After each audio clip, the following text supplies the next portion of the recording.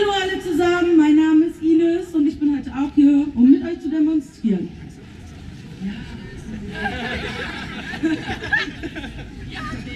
Es muss jetzt, sofort, so schnell wie möglich etwas für unsere Umwelt getan werden und für das Klima.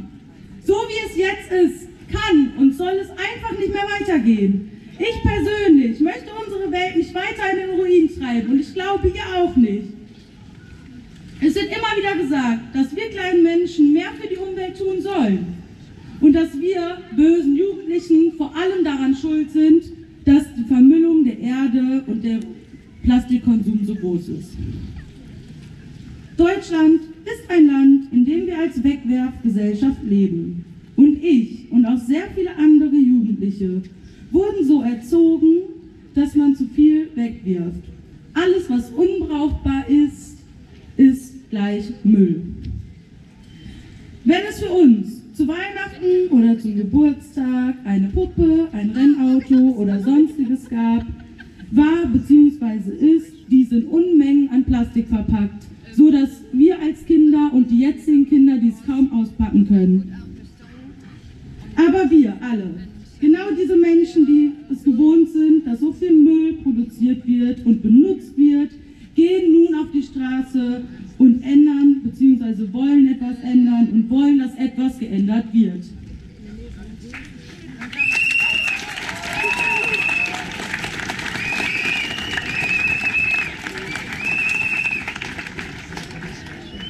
Wir kleinen Menschen ändern schon sehr viel in unserem alltäglichen Leben.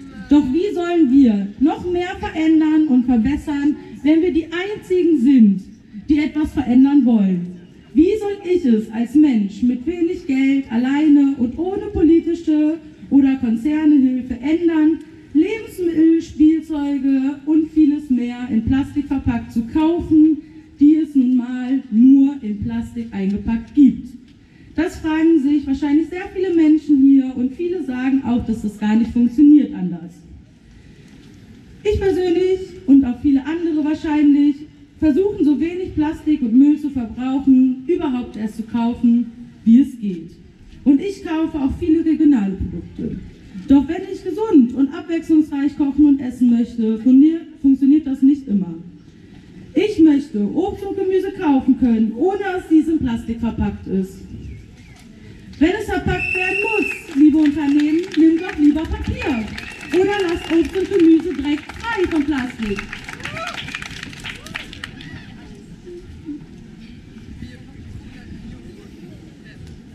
Wir können sehr viel tun, um die Umwelt zu schonen. Zum Beispiel fahrt lieber Bus, Zug, Fahrrad oder geht zu Fuß. Zumindest die Strecken, die man so erreichen kann. Der Sprit ist momentan eh viel zu teuer. Verzichtet auf die ganzen Plastiktüten beim Einkauf. Nehmt lieber Dosen mit für frische Lebensmittel wie Wurst zum Beispiel. Und statt einer Plastiktüte zum Verpacken des Einkaufes, holt euch entweder eine Mehrzwecktüte, die ihr oft wieder verwenden könnt, oder holt euch einmalig einen Korb. Das ist viel umweltschonender. Selbst Kühltaschen könnt ihr euch einmal holen und viel öfter verwenden. Das alles sowieso günstiger und viel umweltschonender zugleich.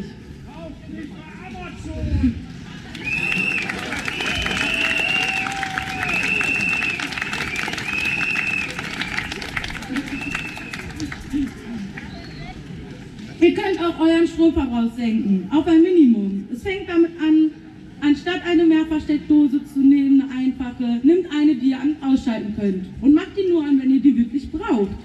Achtet bewusst darauf, wann Licht anzumachen ist und wann nicht. Man braucht nicht den ganzen Tag eine Lampe anzuhaben, wenn man eh nicht da ist oder gerade nicht irgendwas macht, wofür man die braucht.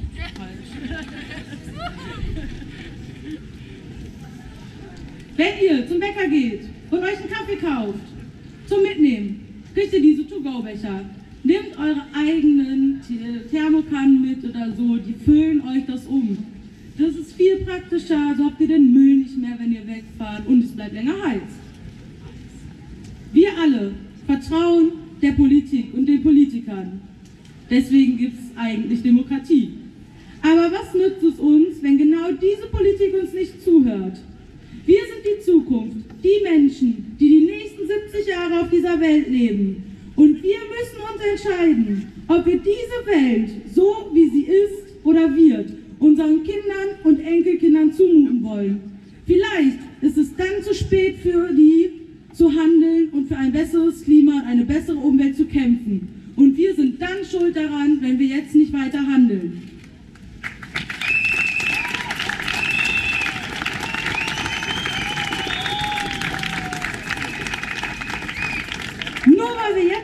Straße gehen und weil wir versuchen, uns selbst zu bessern und zu ändern, gelingt es uns, andere auf die Schäden der Umwelt und des Klimas hinzuweisen. Und nur so verleiten wir andere dazu, es auch zu tun. Was bringt es uns bitte, in die Schule zu gehen und zu lernen und uns weiterzubilden, wenn es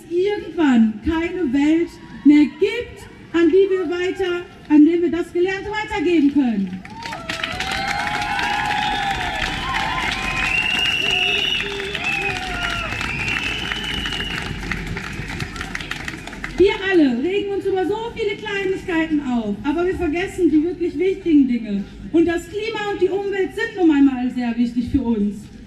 Wir als Fridays for Future Bewegung kämpfen für Veränderungen und lassen uns das von niemandem verbieten. Das ist unser Recht zu demonstrieren. Egal wie viele gegen uns sind, wir werden weiter auf die Straße gehen und laut sein.